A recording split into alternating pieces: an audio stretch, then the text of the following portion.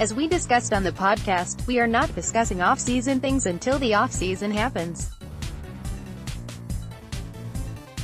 Caps forward Devante Smith-Pelly, who has scored six goals this postseason, has no such policy. During Wednesday's media time, Smith-Pelly, who has scored two game-winning goals, the same number as Alex Ovechkin, was asked what he thought of a possible Caps visit to President Donald Trump's White House, should the Caps win the Stanley Cup. Smith-Pelly, who has outscored Backstrom, Laine, Malkin, Marchand, Subban, Burns, Couturier, Couture, and Killorn, did not mince words.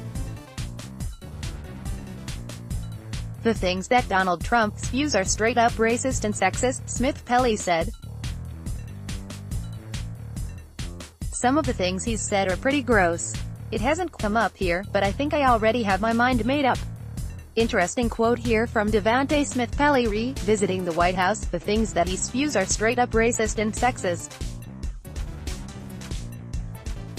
Some of the things he's said are pretty gross. It hasn't come up here, but I think I already have my mind made up. Michael Traikos, at Michael. Traikos, June 6, 2018 This is not the first time that Smith-Pelly, who scored five goals for the Anaheim Ducks in their 2014 postseason, has spoken up.